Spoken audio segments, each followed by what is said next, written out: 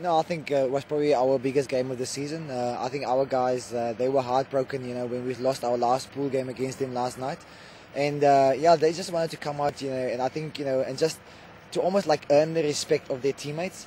Uh, I think we've let ourselves down on occasions, and uh, I just told the guys, you know, let's just go out today and play the way that we can. We do have a lot of character in the team, we do have a lot of ability, and we do have a lot of talent. But at the end of the day, it comes down to the hard work, and I think they, they really fought right up, up until the end. And retain this Adelaide title. What is it about this pitch that you like?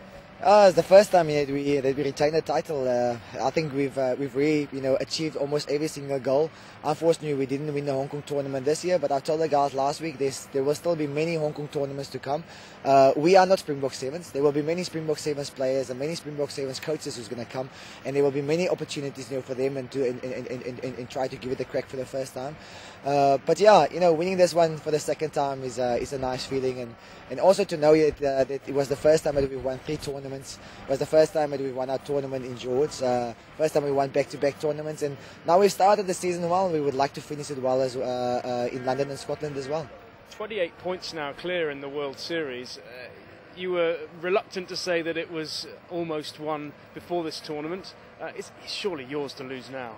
I, still, I, think I'm still reluctant because last year this time we were 20 points up on uh, on New Zealand and uh, we went to the plate in London and it became a different story. But yeah, it's going to be difficult for the other teams. But I think we will we will tend to, to almost like focus on the things that's within our control and and that's to play well and hopefully to win more tournaments.